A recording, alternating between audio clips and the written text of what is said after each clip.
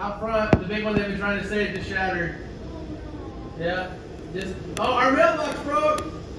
Damn it! My Mailbox is down. Deer Deer, running- deer running. Deer was running for his life. He did not get any part of it. Saw a serious light flash over there. This is easy 100 mile an hour big winds. down. Split in half. Yeah. Oh, our tree's gone. We lost two trees. Both. All of them. Our front yard is gone. Oh, furniture. Yeah, down around, around the pot. Oh, damn, I love those trees.